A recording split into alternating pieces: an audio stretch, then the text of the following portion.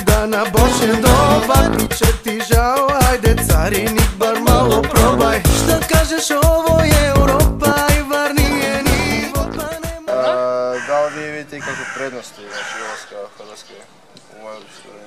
Pa gore valjda ne može, pa onda ovoga, ljudi su tu koji znaju šta rade, pa onda se moramo nekako s ovoga njima prilagoditi, pa mislim da će to biti jako dobra stvar. Da, a- Već je, jel? Da, da.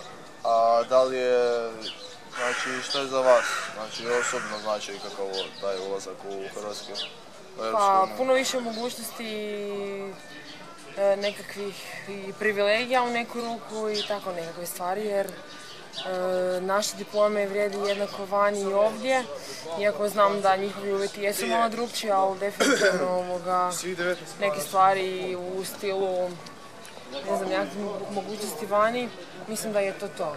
Mislim da je to jako Gotovo godinu dana od kako je Hrvatska ušla u Europsku uniju. E, koje promjene, ajmo reći, vi zamjećujete kad je ono ušlo?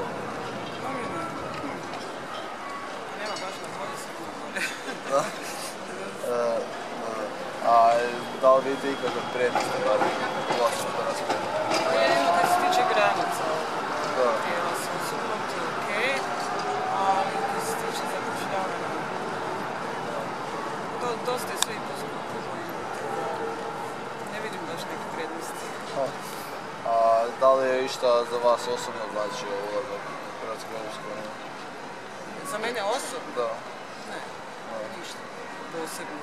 Ali da li možete nam nešto možda reći ono, oko gospodarstva, da li išta se ono, pogoršao turizam dok smo ušli u Europsku uniju? Turizam, turizam mislim da je malo bolji. A kad se tiče gospodarstva, se malo reda svega, pa. E, prošlo je gotovo godinu dana od koje je Hrvatska dio Europske unije. E, koje promjene u Hrvatskoj primjećujete? Pa faktički nikakve, mislim osim što smo otvoreni su neki fondovi, imamo veći pristup informacijama, ali baš da se nešto posebice promijenilo nije. Da, ja, ja se sa. Mislim, eto, jedino to što nam je više e, dostupan taj, dostupni su nam fondovi, jel, novci iz Europske unije i tu se još uvijek snalazimo, nismo se još uvijek dovoljno upoznali s tim, pa ne znamo to dovoljno dobro iskoristiti. E, možemo slobodno šetati po Europi i to je to za sad. Da, aha.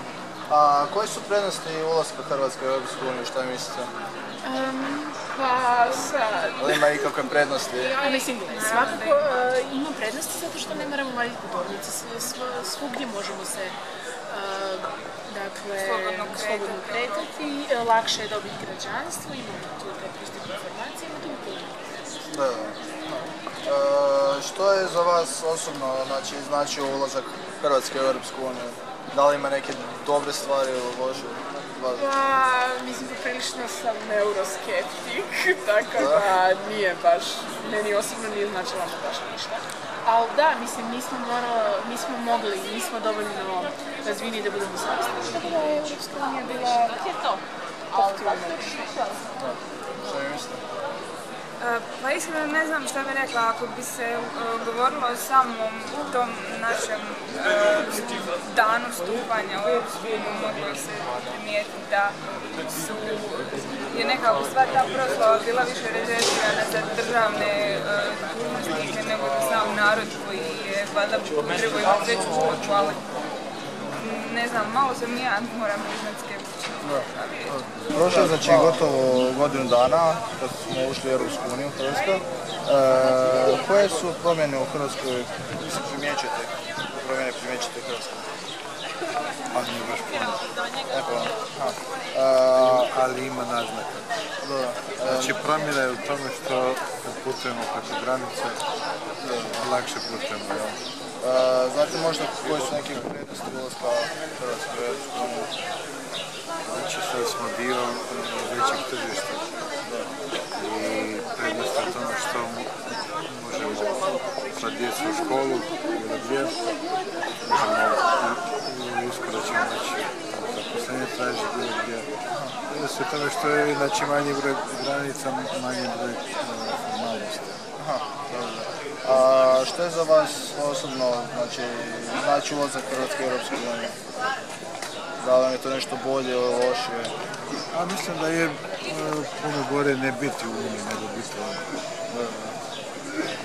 Znači, to je sad jedan proces, možda ovo nije najbolji moment, a, generalno zbog recesije, ali dugoročno mislim da će to biti dobro. Zato što to je gdje je većina. Da, da. E, znači, prošlo je skoro gotovo da, godinu dana od kako je Hrvatska ušla u Europsku uniju. E, da li vidite ikakve promjene u Hrvatskoj? Ne, Ne. ne. E, jel znate možda i kakve prednosti ulaska Hrvatske u Europsku uniju? Pa može oslobađanje nekih novih radnih mjesta, ali ni tog nema za. Da, da, da. A da li je išta za vas osobno znači ulazak Hrvatske u Europsku uniju? Pa za sad no- još ne, ali može bude.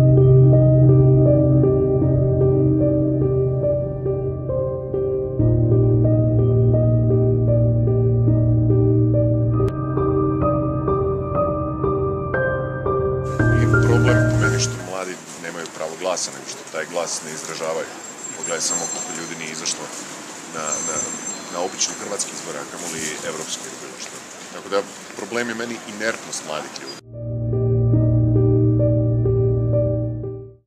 I think we're a little bit more educated than the people who now have an opinion. We're more educated, we're more worldly, and um, we're the ones who are in school now getting an education so that um, you know we're able to make a life for ourselves. And so we see what will work for us and what will not work for us. We're just a more open-minded generation, and I think that's that's key.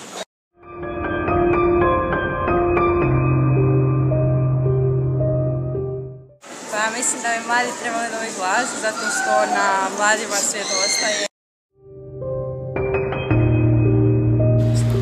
We should be able to decide for ourselves what happens to us in the future.